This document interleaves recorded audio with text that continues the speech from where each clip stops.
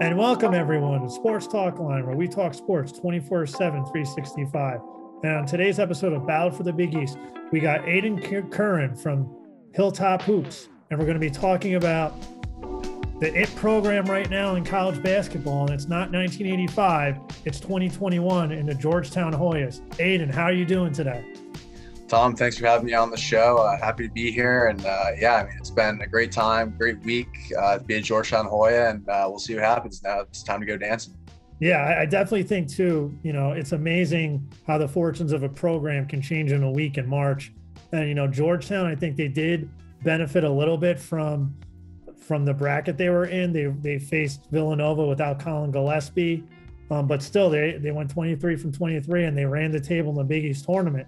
So the first question I think we need to talk about is, you know, how did Patrick Ewing turn around the program this season? Because the Hoyas were three and eight going into a COVID pause, and after that COVID pause, they became ten and four. How did this turnaround happen?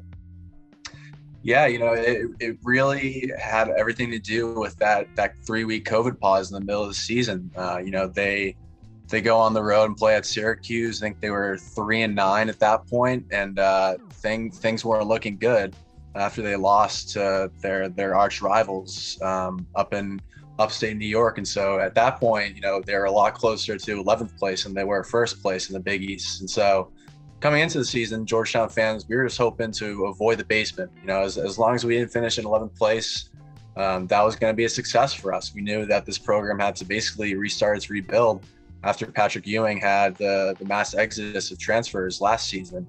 Uh, and then, so whatever happened in that COVID pause just really turned everything around for this team. I think one of the the key factors that Patrick Ewing uh, points to was the insertion of uh, graduate transfer Chudier Bile into the starting lineup.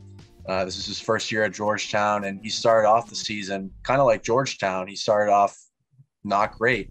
Um, he was struggling shooting. Uh, he was turning the ball over at, at a high rate. Uh, it just wasn't really working out with him in Georgetown. And, uh, you know, maybe it was just confidence of being put into the starting lineup, but he really has galvanized the team with his effort. Uh, his his three point shot has started to fall.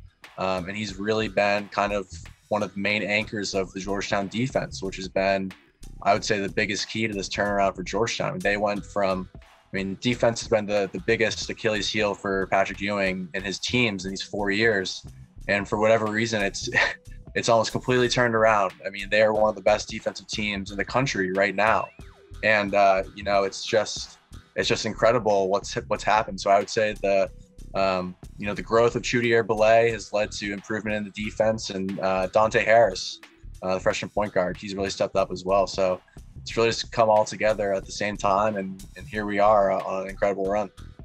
Yeah, that's true. And, and, now when you looked at the roster, you know, some surprises, you know, Jahvon Blair and Jamorko Pickett, you know, you kind of would expect for them to have big seasons and, and kind of lead the way, especially after the mass exodus that occurred with Georgetown. But let me ask you this you might have hit on it a little bit before, but which players stepped up enough to allow Georgetown to go on this run, even before the run in the Big East tournament? Because they did have some uh, impressive wins. They won at Creighton after the pause, and it looked like they were a tough team to play against uh, in fe- end of February and early March. Yeah, so coming into the season, it was going to be Jamorko Pickett and um, Jahvon Blair, who, who were the, the keys to the team. This team was always going to go as far as they could carry them. Um, we weren't really sure what we were going to get out of Dante Harris. We weren't sure what we were going to get out of Chudier Bile. Um, so it was really going to be up to Blair and Pickett and you know both those players have, have had their ups and downs in uh, in Georgetown uniforms, uh, especially Pickett. You know he he came in, uh, he's from Washington D.C. and with his long arms and his height, he drew immediate comparisons to Kevin Durant, which were unfair, uh, and they still are unfair. But hopes were high for him, and you know he he can score the ball, but he doesn't always. It, it takes some time for him to get locked in and focused, and so.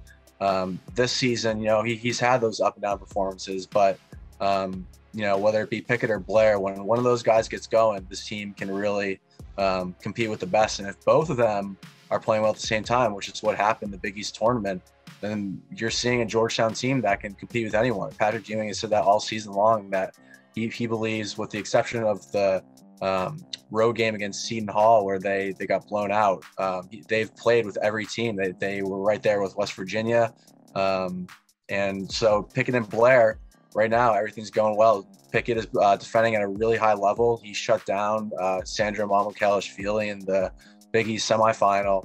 Uh, and, and Blair uh, has actually been moved to the bench. He was uh, he was benched for a whole game by Ewing at the end of the season. He's been on the bench ever since, but he's accepted the demotion. And he's still he's still closing out games, and he's providing a major scoring punch for this Georgetown team. So you have one senior leader who is a do it all, um, you know, three and D kind of defender, and then you have Blair who can just light it up uh, at any given moment. So those two have been the keys for Georgetown, and you know, as you can see from the Big East tournament, as they go, Georgetown goes. Um, and I, I, have to give some recognition to Dante Harris. Uh, he, he wasn't expected to be a starter this season. Uh, Jalen Harris was a transfer from Arkansas. Um, he was expected to be the guy, and, and, Dante Harris. Dante Harris was the 415th ranked prospect in high school last year. So there were there were minimal expectations for him. You know, if he was going to be your backup point guard, that would be a success. Um, Jalen Harris had to take a leave of absence and hasn't returned to the team since. Um, and Dante Harris took the starting role and ran with it. Um, you know, he had his ups and downs. He has growing pains in the, during the season, but um, it's really the mentality that sticks out with him. He, he's a, he's a fearless kid. He loves to do the little things. He, he defends. He rebounds. Uh, and he's gonna he's gonna be a focal point of this matchup against Colorado. Um, they have McKinley Wright at point guard, and Dante is gonna have to do his best to stay with him. And if Dante can limit Wright, I like the Hoyas' chances you know, I, am glad you mentioned Colorado because a week ago, no one would have believed Georgetown would have made the NCAA tournament. Very, very few people probably honestly believed that they could win um, the whole tournament, but they did. And now they were given a 12 seed and they match up against Colorado. How do you think Georgetown will match up with Colorado um, in the NCAA tournament in, in that pivotal 5 12 game? A lot of upsets. There's a lot of 12 seeds that get that, knock out the five seed, and then can make a run. And also, if Georgetown does knock out Colorado, they got a potential date with Florida State, which was the dominant team in the ACC, even though the ACC hasn't been as strong. So, how do you like those two chances of first going up against Colorado? And if Georgetown gets past Colorado, how they would match up with Florida State or the other team that they can run into? Yeah, so I think the Colorado matchup is it's a favorable one for Georgetown. I think out of all the 12-5 matchups, um, you know, them against Buffalo is is a pretty decent matchup. Um, I think that it, it would have been really fun. Uh, there, there were a lot of Georgetown fans that were hoping that uh, we would draw Texas Tech in the 12-5 matchup because former Hoya Mac McClung is now on the Red Raiders, and, and there's some uh, there's some bitter feelings left over in the Georgetown fan base from his departure. But uh, yeah, you know, Colorado, they you know they were um, they lost to Oregon State in the Pac-12 championship. Um, a solid team. They they've beaten USC, who I think is probably the the best uh, Pac-12 team uh, three times this season. So obviously a good team. They are uh, led by McKinley Wright. Um, uh, you know, I, I like I like this team's chances right now. If Georgetown can can bring its defense and its rebounding to Indianapolis from New York City, I think they're going to be a tough out in the NCAA tournament. I think it's it's pretty surprising because they're one of the trendiest uh, upset picks in the tournament right now, um, especially according to the betting market. And that's a, that's kind of a reversal of fortunes because Georgetown in the past with uh, its NCAA tournament appearance, uh, it's been the team that's been getting upset. Um, so now we're kind of in that Cinderella uh, role that we've been going up against in past tournaments. Um, so I, I think it's a good matchup. I think that you know, again, if Pickett and Blair can show up, and and if Pickett especially um, can bring that same defense, that same three point shooting, um, I think it's really going to come down to that Harris Wright matchup at point guard. Um, Dante Harris was the most outstanding player of the Big East tournament. He's really arrived on the the big stage, and he's really staking his claim to be one of the best players in the Big East. And now he gets to go up against McKinley Wright, who's probably a, a top 10, top 15 guard in this country. Uh, I think it's going to be another chance for Dante to prove himself against you know one of the the alpha dogs of uh, the NCAA you know Division One game this year. Um, and I think that if um, Harris can slow down Wright, I think I, I, really like the Hoy's chances here. Um, I just think everything is clicking right now, and the way that they control the paint, I think that's going to be a major factor in this game. And then going uh, then if we want to look ahead, um, you have Florida State after that, most likely, unless Wes Miller's UNC Greensboro team can trip them up. You know, I think that's going to be an interesting matchup. Um, I haven't seen too much of them this year, but I know they're a long and athletic team. Um, length has given Georgetown some issues this season, so I think that would be a tough matchup. Uh, I think you know Florida State would rightfully be favored, um, but you know, I mean, Florida State led by Scottie Barnes, Georgetown has a, a, player who can stick with Barnes. You know, Barnes is tall and athletic. He's he's got that length, but we have Jamorko Pickett, who who is a wing, kind of that point forward stopper. Uh, I think he would match up really well with Barnes, and that could disrupt the Seminoles. So, you know, I, I think obviously being a 12 seed, you're going to have a tough draw in the first round, and then after that. So obviously this, whether it be Florida State or anyone else in that region, it was going to be a tough second round game. But you know, things are rolling for Georgetown, and you know, I, I, I wouldn't have expected them to win the Big East tournament, but here they are. So, who's to say they can't make some noise against Florida State and uh, you know possibly head to a Sweet 16 matchup against Michigan, which would be uh, a, a, very fun matchup between Juwan Howard and Patrick Ewing.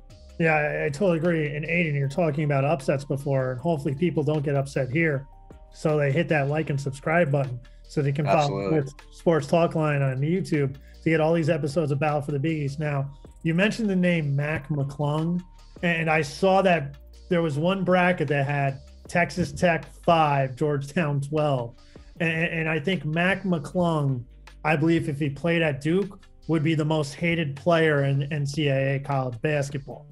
Um, but you, you kind of bring up, you know, a point since you kind of brought up Mac McClung, he kind of symbolized like, okay, I'm leaving, the program's going into rebuild. How do Hoya fans look at Mac McClung and oh boy, how would they have reacted if they got a matchup in the NCAA tournament against Mac McClung and took him out? Yeah, so that there's a lot of hard feelings um, from Hoy's fans towards Mac.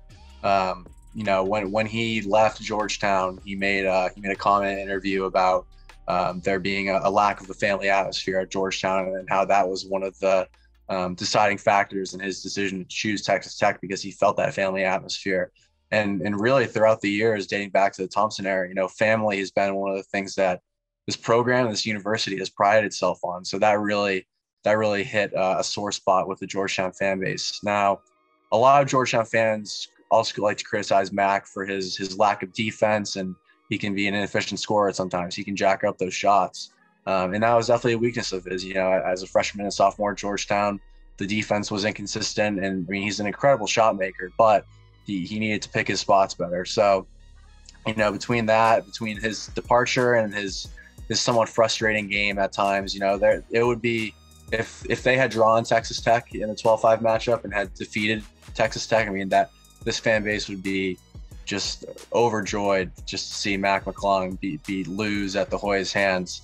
Now, from my perspective, you know, Mac McClung, he he put his heart out there for Georgetown. Uh, he played through injury. They rushed him back through injury. Uh, and there are some things there that you know Georgetown's at fall for. Um, they, they didn't really handle his health too well with his his foot. He uh, tore his plantar fasciitis, um, and you know Georgetown lacks scores this season. And I like to tell a lot of my followers who like to complain about Mac that you know what player Georgetown could have used at least earlier in the season before his magical run. It, it would have been Mac McClung. Um, you know he's he's stepped it up and uh, he's taken it to another level at Texas Tech. Um, he's become a better distributor. Uh, he's bet, he has some of the best defensive numbers on uh, the Red Raiders squad. Um, so I, I, think he's a great player. I think he's misunderstood from his time at Georgetown, and uh, you know I personally wish him the best of luck on uh, his side of the bracket.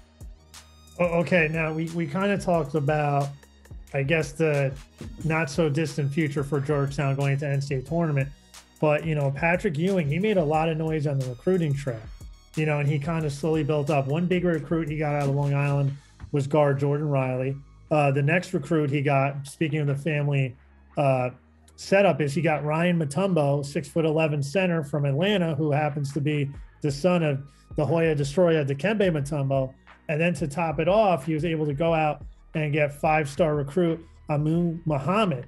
So how do you think, you know, how is the feeling with Ewing, you know, because it felt like a lot of the positives was the recruiting class Ewing was bringing in, but now you have this on the court success with a lot of returning players being combined with this top top ten recruiting class. how, how do the Hoya fans feel about this and their chances going forward in the Big East and also to potentially be a national powerhouse? Yeah. So Tom, can I tell you something? I don't think uh, I don't think Georgetown's done in the class of 2021. Okay. Um, Patrick Baldwin Jr. is a top five player. Uh, he's still yet to commit, and Georgetown's been involved with him for a while. And uh, in the last couple of weeks, there's been heard from a couple of people that uh, things are things are looking good for Georgetown with Baldwin. Uh, he's his dad is the coach at Milwaukee, um, and so it was expected in, in the couple months back he was uh, slated to go to Milwaukee, but uh, Georgetown's kind of emerged in the last couple of weeks, and if they were to get Baldwin Jr., that would give them the number two recruiting class in the class of 2021. Right now, I think they're at number 11. Um, so, I mean, they're Patrick Ewing is doing a great job as is, but there's still room for improvement here. Um, and I wouldn't count out the Hoyas yet with Baldwin. So, uh, you know, hopefully in the next couple weeks, maybe right after the tournament, we'll hear his decision. But yeah, Patrick Ewing, really from the get go, he's proven that he can recruit. And that was one of the major concerns about him coming in. You know, he's, when he was hired by Georgetown, I think he was 56, 57 years old.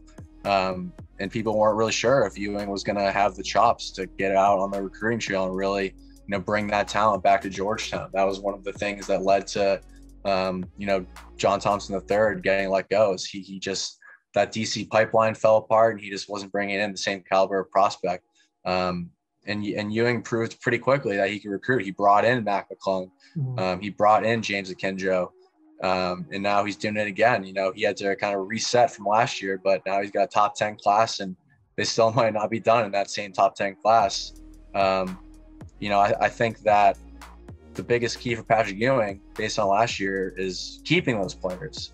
He's proven that he can bring them in. Now you got to prove that you can keep them. So I think that's that was a major learning lesson of his from last season, learning how you know it, Patrick Ewing runs a tight ship. It's his way or the highway. And in today's college game, you know, it, it's a players' league. It's a players' league in the pros, and it's becoming a players' league in college. He found that out with Mac McClung. He found that out with James Akinjo. Both just wanted to get out of there. So now he's got he's kind of he's trying to figure out how to kind of massage those egos. So you got Jordan Riley coming in from Long Island. He's the best player on Long Island.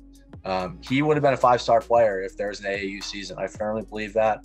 Um, he's uh, an, an, incredibly athletic freak. Um, Aminu Mohammed, just a really a groundbreaking commitment. The first five-star for Ewing. Um, just there, there are so many parallels really to Mohammed coming to Georgetown and Ewing coming to Georgetown. Both came in at a time when Georgetown was was starting to be on the increase, but they needed that that one star to get them over the hump. And there's there's a lot of expectations over Mohammed. Um, you know, he's a really great player. Um, you know, he's coming to Georgetown for the right reasons, and uh, you know, they're we'll see what happens next year. I mean, if it, even without if they don't get Baldwin, um, there's going to be there's going to be expectations um, really for the first time um, under Patrick Ewing. You know, of getting to the NCAA tournament, making some noise. So he did it this year, and the squad next year should be better.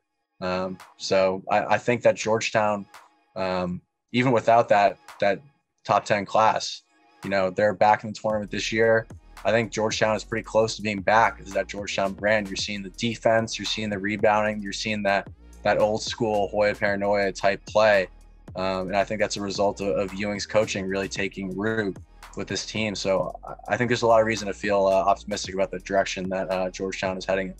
Yeah, and you know, I, I totally agree. I think it's safe to say Georgetown won't be picked 11th in the Big East preseason poll next year. Um, Definitely.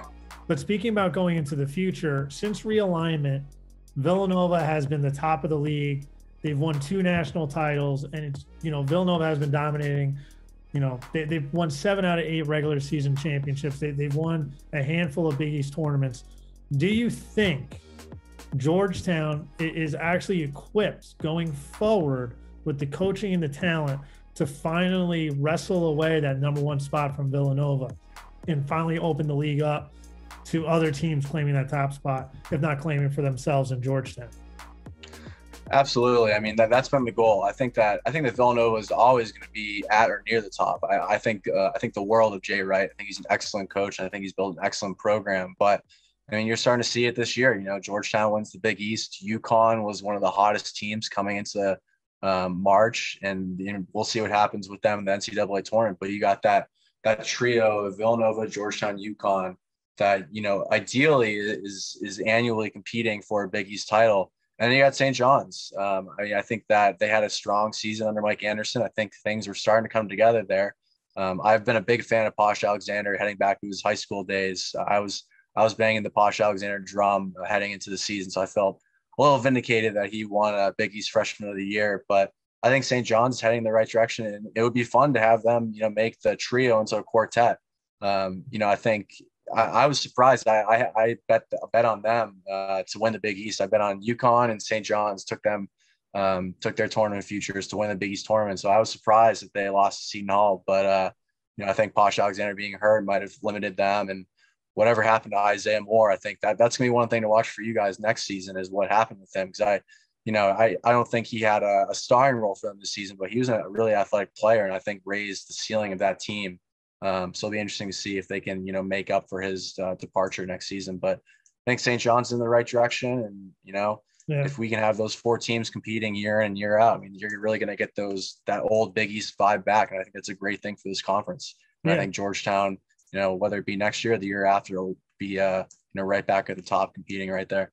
Yeah, I definitely think too. When you look at St. John's, you know, you mentioned Posh Alexander, and he was, you know, St. John's was recruiting Jordan Riley, and I believe Jordan Riley's father went went, on and said, "Listen, you know, my, my son really can't compete yet with Posh Alexander for playing time. That's kind of one of the deciding choices that pushed Jordan Riley um, to Georgetown. But you know, I, when you look at the peak of the Big East, you always had that Georgetown St. John's rivalry, and that's something with Mike Anderson uh, could happen. They they supposedly have most of the players returning. Isaiah Moore is transferring, but usually when you look at him, he's great at finishing around the rim.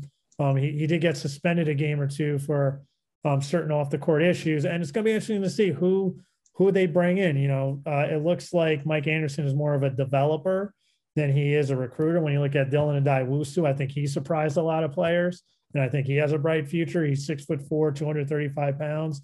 He can finish at the rim. He can knock down threes, and it's going to be interesting to see going forward. But I definitely think, you know, it will be great for the Big East if Georgetown and St. John's are having classic rivalry matchups um, going forward. And you throw UConn and Villanova in, it's almost like it's, you know, 1985 or 1999 all over again. But we'll see what happens. But before we leave, Aidan, can you tell everyone where we can find you on social media and on the internet? Yeah, absolutely. So you, you can find me uh, at Aidan Curran underscore on Twitter. Um, also, feel free to follow my website, Hilltop Hoops, uh, on Twitter as well. That's uh, at Hilltop Hoops underscore. Uh, we also have the Bulldog Banter podcast. You can find that on whichever uh, you know podcast platform that you listen to. But uh, it, it, was great joining you today, Tom, and uh, you know looking forward to seeing where uh, the Big East uh, goes from here because I think there's a lot of reason to be hopeful for really the future of this conference as a whole. So really exciting times. Yeah, no matter what Jay Bilas says, the Big East isn't dead. All right. Exactly. Thanks for coming on, Aidan. And remember, everyone, to listen like you play with intensity.